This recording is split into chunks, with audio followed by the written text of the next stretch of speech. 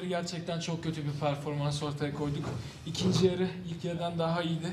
Birçok pozisyon bulduk. Gol atma fırsatını da yakaladık ama e, Gençler Birliği kalecisi gerçekten çok iyi bir performans gösterdi ve takımını kurtardı. İkinci maçta iş yeri tersine çevirerek turu geçmeye çalışacağız. The, the weather and the, and the pitch, do you think it affected?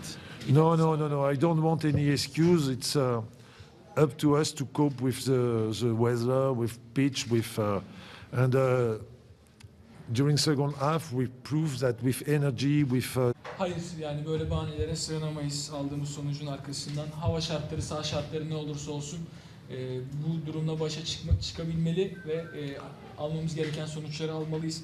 İkinci yarı zaten bunu gösterdik. Hava şartları, saha şartları aynı olmasına rağmen daha fazla, daha yüksek bir enerjiyle, daha büyük bir iradeyi ortaya koyarak oynadığımızda e, yapabileceğimizi zaten gösterdik aslında oyunsal anlamda.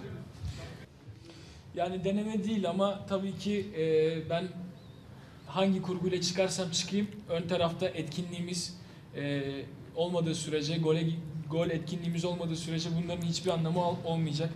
İşimiz zor. Eksiklerimiz olduğu için tabii ki bu arayışlara girdik. E, ama başımız dik ayrılmalıyız bu stadyumdan. İrademizi ortaya koymalıyız. Ocak ayı itibariyle çalışmalarımıza geri döneceğiz.